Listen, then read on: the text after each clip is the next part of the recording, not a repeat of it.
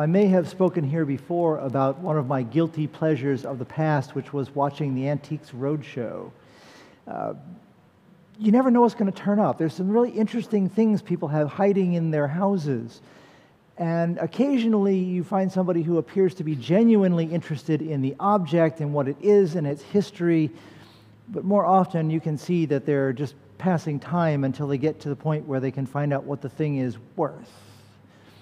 And the, the guilty pleasure, of course, is to see that the look of, of feigned surprise and, and avarice that comes over people when they discover that grandma's china is really worth $200,000 or whatever it turns out to be.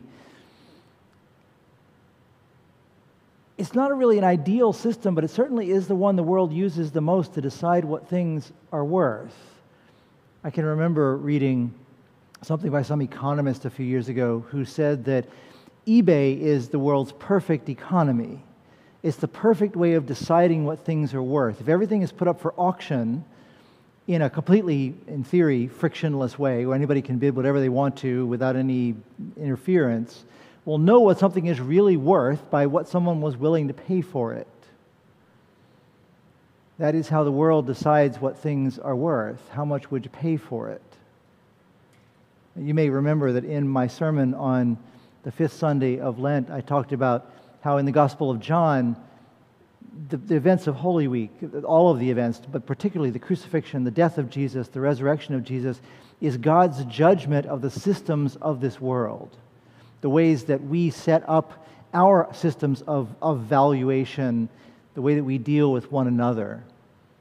And so for tonight, tomorrow, and Wednesday noon, I want to talk a little about some of these valuations because this is a good example of one in the story we have tonight. This little strange little dinner party happening just at the beginning of Holy Week. Certainly, we are used to imagining things as having worth in terms of what we can do with them. Uh, there's a joke. Uh, are you, a man has a heart attack, and the EMS people come and they put him on a stretcher and they ask, Are you comfortable? And he responds, I make a good living. Uh, every time I log into the app, mobile app for my banking bank account now, it's, it's changed. And they got a new, system, a new system they use. At the top, there's something that says net worth. Now, of course, it's not really true because my one bank account has no idea what's in any one of my other bank accounts.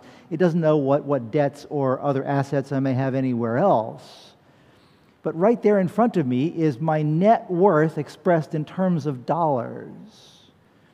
We have a way of doing this to ourselves again and again and again. If it's a bad system when it comes to objects, it's a far worse system when it comes to people. When we try to reduce people to their dollar value, what are you worth? We run the risk of running afoul of God's system of valuation. If we can leave aside for a moment the fact that it appears that Judas was dishonest, at least in the opinion of the writer of the Gospel of John, in a way, he is speaking for the world, and he does kind of have a point. We who are faithful people must live in the world and must work on the world's terms in order to get God's business done. So he's not wrong that the perfume was worth a lot of money. The, tr- the trouble is that his way of valuing it is up against God's way of valuing it, as expressed by Mary Magdalene, who has poured it out or, or Mary, the, the sister of Martha, who has poured it out for this purpose the worship of God, the honor of God. This person who she, for some reason, seems to know will not be around much longer. And so she is honoring while she has the chance. The death of Jesus reveals just how little the world's system of valuation means in the eyes of God. This one relatively marginal person in a relatively marginal culture on the edge of the Roman Empire, who nonetheless was the full embodiment of God's purposes for humanity. His death reveals how much of the world's system of worth is really very hollow. The question for us as we begin Holy Week is whose system of valuation will we follow? Will we be distracted and enticed by the world's way of saying what something is worth? by imagining how our worth is reflected in what we see of the world in ourselves? Or will we turn and see it as God sees it?